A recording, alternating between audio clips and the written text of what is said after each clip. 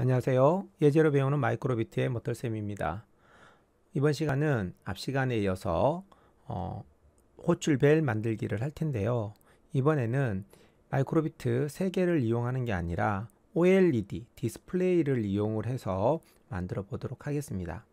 어, 이 강좌가 어, 처음이신 분은 앞에 강좌인 요 이거 그 호출벨 만들기에서 마이크로비트 3개를 이용해서 디스플레이를 표현했던 이 부분을 먼저 보시면 될 것 같습니다. 위쪽에 어, 태그 하나 달아 놓도록 하겠습니다. 오늘은 마이크로비트 하나를 이용 해서 4개 아니 5개의 테이블을 표현해 볼 겁니다.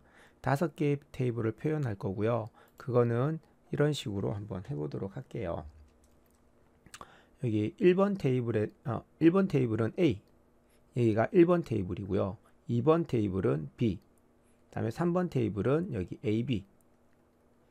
그리고 이렇게 왼쪽으로 기울이면 4번, 오른쪽으로 기울이면 5번. 이런 식으로 테이블 호출 번호를 5개까지 한번 만들어 보도록 하겠습니다. 그리고 이 앞에 있는 숫자가 가장 최근에 호출된 것, 그다음에 여기 끝에 있는 게 가장 오래전에 호출된 거 그래서 옆으로 출력되도록 한번 만들어 보도록 하겠습니다. 자, 동작 방법을 한번 볼게요. 이게 테이블에 해당하는 거고요. 얘가 카운터에서 디스플레이 역할을 하는 겁니다. 그리고 재료는 마이크로비트 하나 그리고 마이크로비트 두 번째 거 다음에 여기 확장 보드라는 건데 검색해 보시면 바로 나올 거예요. 마이크로비트 확장 보드 이렇게 검색하면 나올 거고요.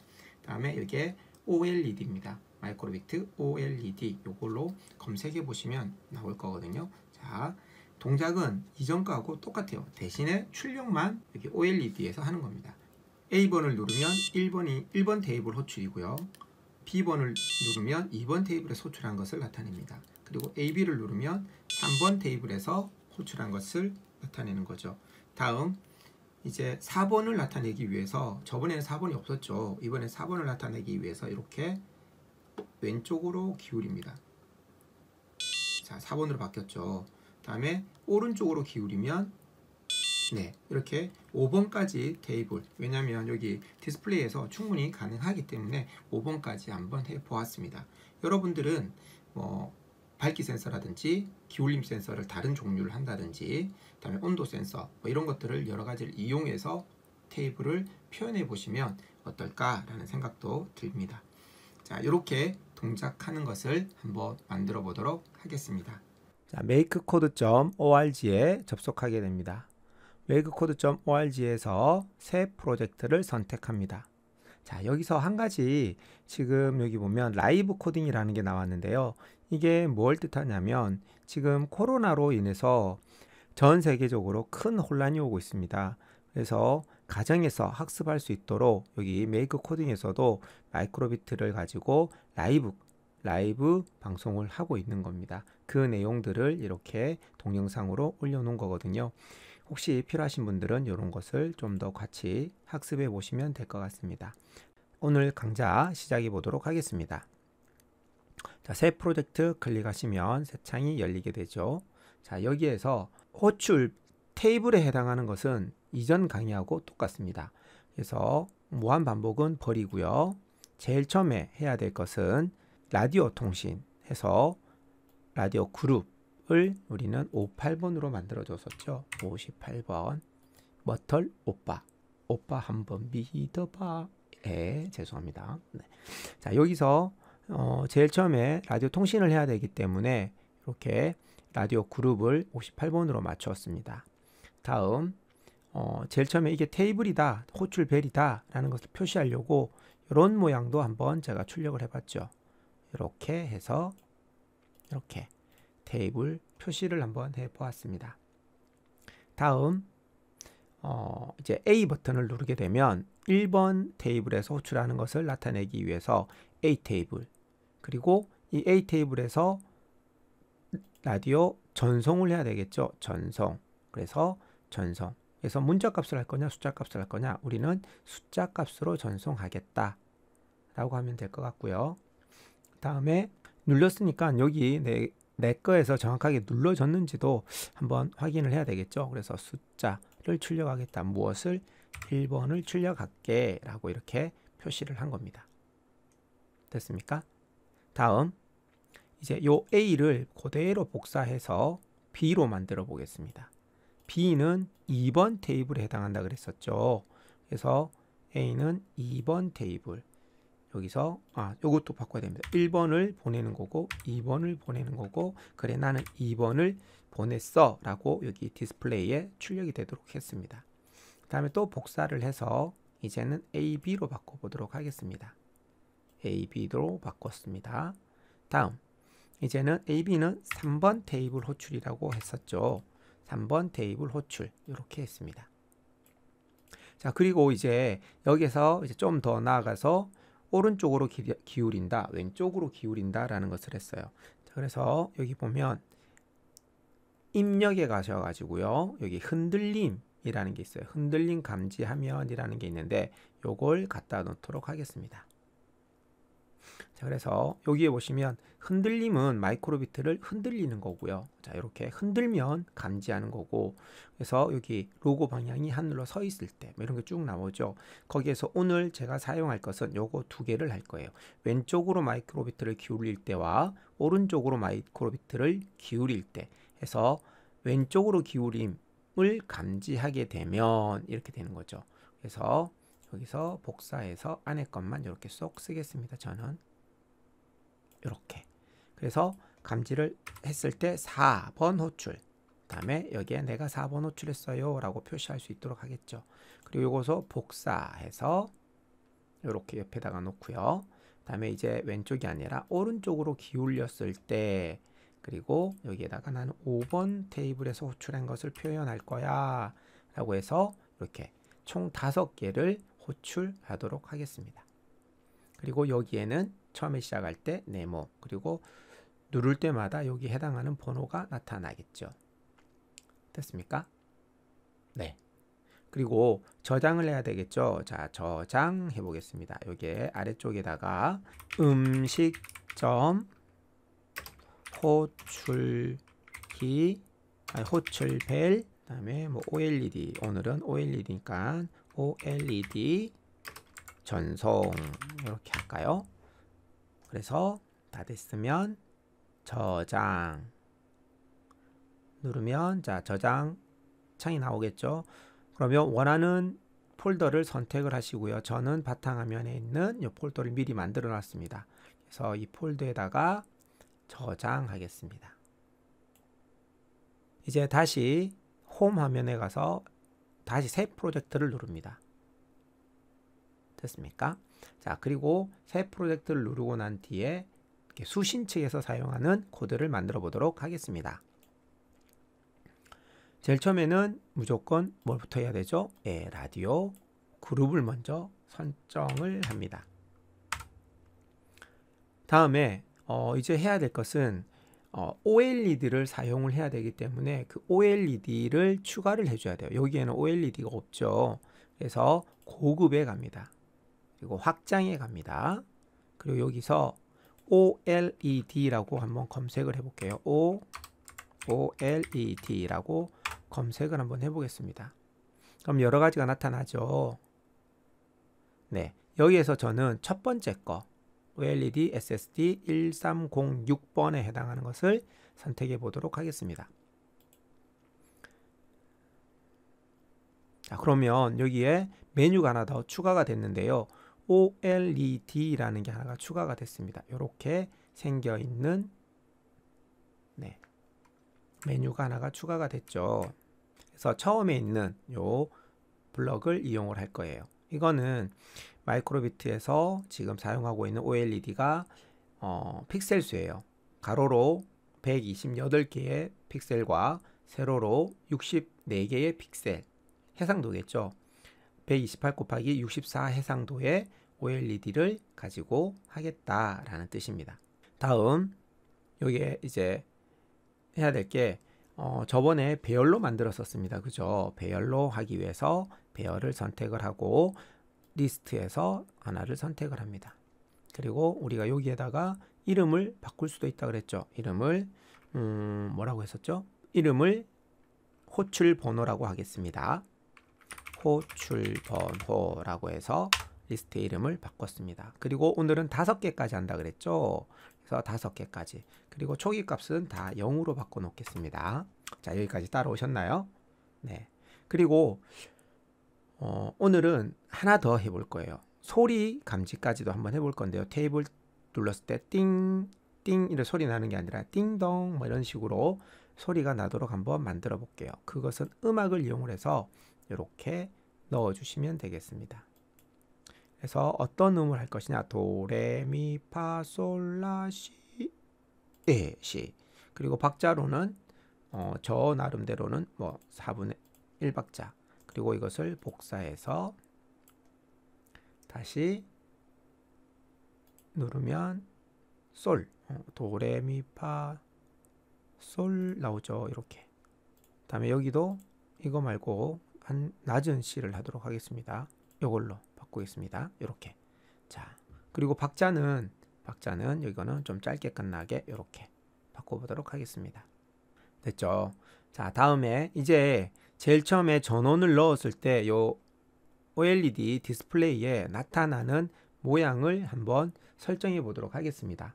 그래서 여기 OLED 같은 경우는 숫자는 하나의 숫자면 되니까 우리는 문자 형식으로 해서 넣도록 할 거예요.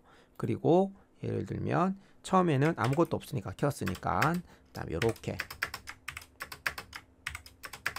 다섯 개 모두 아무것도 없다 이렇게 해서 표시되도록 한번 해볼게요. 그리고 이 간격은 여러분들이 그 나중에 줄였다 늘렸다도 할 수 있어요. 그래서 한번 테스트 해보고 너무 길다 그러면 줄이면 되고 너무 짧다 그러면 좀 늘리면 되겠죠. 자 그래서 이렇게 만들어 놓은 거고요. 다음에 이제 이, 이 디스플레이 OLED에도 했으면 마이크로비트에도 아, 동작하고 있다라는 것을 표현하기 위해서 제일 처음에 어, 이거는 문자를 한번 출력을 해볼게요.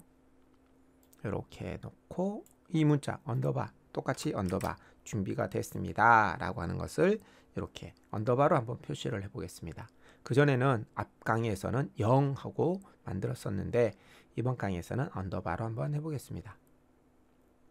됐습니까? 자 그리고 A 버튼을 누르면 A 버튼을 누르면 clear가 되도록 한번 해보겠습니다.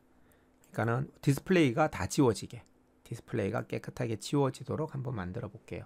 자, 그래서 A 버튼을 누르면 지워져라 OLED가 그래서 여기에 보시면 어, clear OLED display 요런 요거를 선택해 놓으면 됩니다. 아, 여기서 한 가지 다른 거는 왜 전부 다 한글로 다 번역이 되어 있는데 OLED는 왜 번역이 안 됐어요? 라고 이렇게 궁금해 하실 분도 계시는데요.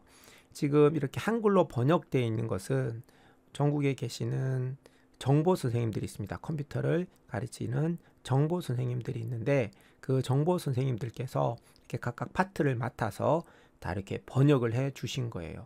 어느 날 갑자기 여기 MakeCode 사이트가 업데이트가 됐다. 그래서 뭐 메뉴들이 이상하다라고 하면은 그래서 그분들이 빨리 들어가서 이것들을 한글화해서 만들어 놓는 거죠. 네. 이 한글도 한글화하는 각각의 언어로 만드는 것은 이 메이크 코드에서 만들어 주는 게 아니라 각 그 나라에서 여기에 관심이 있는 분들 그리고 코딩에 어, 여러분들한테 도움을 주기 위한 분들이 직접 한글화 작업을 하신다는 거. 그렇기 때문에 한글화를 모든 것을 다 시킬 수가 없다라는 거죠. 어, 이렇게 확장보드 형식으로 추가되는 모듈들이 굉장히 많아요. 그런 것들을 다 일일이 찾아가면서 번역하기가 힘들어서 기본적인 것 몇 가지 많이 쓰는 것은 번역이 되어 있는 것들도 있습니다. 근데 지금 이거 같이 OLED 같은 경우는 번역이 안 돼 있죠. 이렇게 번역이 되는 것과 안 돼 있는 것 차이를 구분해 주시면 될 것 같습니다. 그리고 정보 선생님이라는 것은 어, 정보 선생님이라고 한 게 정보 선생님이라고 한게 어, 정보 선생님은 학교에서 학생들을 가르치는 정보 담당 선생님을 말씀드리는 겁니다. 어, 정보 선생님뿐만 아니라 다른 뭐 고등학교에서 어, 정보 선생님은 학교에서 이렇게 정보를 담당해서 가르쳐 주는 선생님을 말씀드린 겁니다. 자, 그러면 계속 설명드리도록 하겠습니다. A 버튼을 누르면 어떻게 A clear 되도록 하게 만들었다라고 하는 거죠. 자, 그래서 여기도 clear 됐으니까 요거 A 누르면 마이크로비트에 있는 디스플레이도 clear가 되도록 한번 만들었습니다. 지금 여기까지 만들고 OLED에 출력되게 한번 해보도록 하겠습니다. 자, OLED에 출력하는 것은 라디오에서 수신을 받아야 되겠죠. 수신을 받는데 무엇을 수신 받냐면 숫자를 받는 거죠. 그래서 여기에 있는 received number, 요 이름 여기에 보면 숫자가 있어요. 그래서 여기에 보시면 세 가지가 있는데 number, 그다음에 name value, 그다음에 string 이렇게 돼 있어요. 그래서 string은 문자를 받는 거고요. number는 숫자를 받는 거고요. name과 value는 문자와 숫자를 동시에 받는 거예요. 우리 앞 강의에서는 이름, 그러니까 문자와 숫자를 다 같이 받았었죠. 신호를 구분하기 위해서. 그런데 지금은 하나의 마이크로비트에서 신호를 그냥 쭉 보내는 거고 출력만 뭘로 하는 거예요? 어, OLED로 바뀌었기 때문에 OLED 하나에 출력하는 거, 거라서 굳이 문자와 숫자를 같이 받을 필요가 없습니다. 그냥 넘버, 숫자만 받으면 되겠습니다. 자, 그리고 난 뒤에 이제 제일 처음에 입력받은 것들을 자기 자리에다가 계속해서 넣어주면 되겠죠. 이해가 되나요?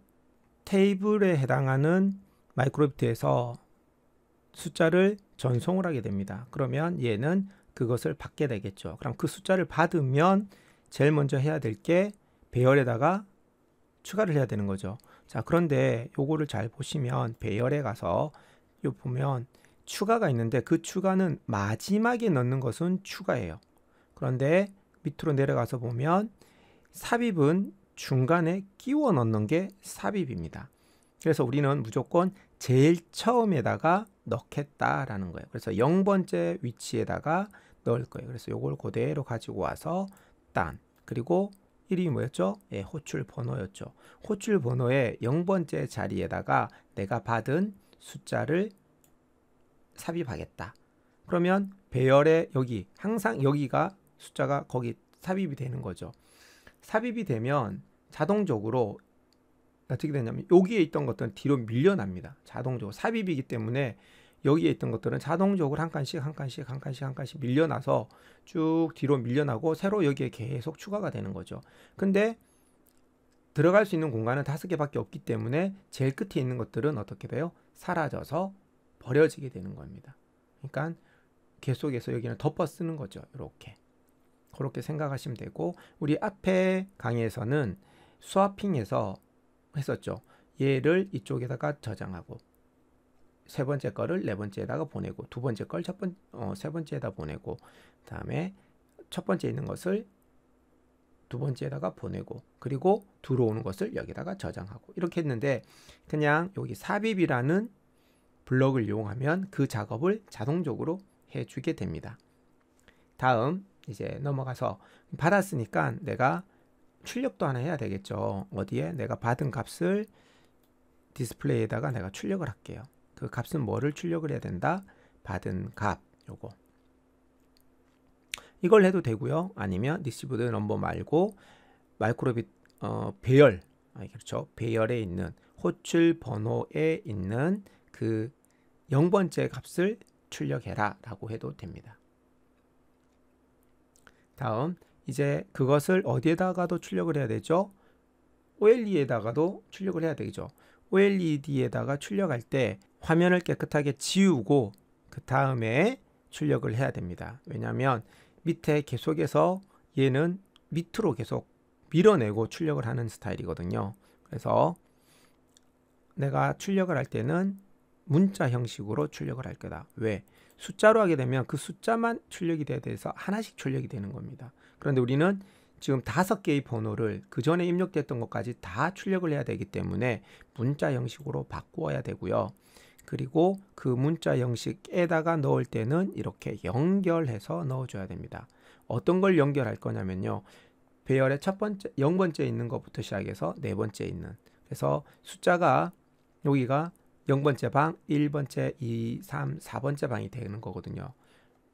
컴퓨터에서 이 리스트의 첫 번째 방은 무조건 0부터 시작을 합니다.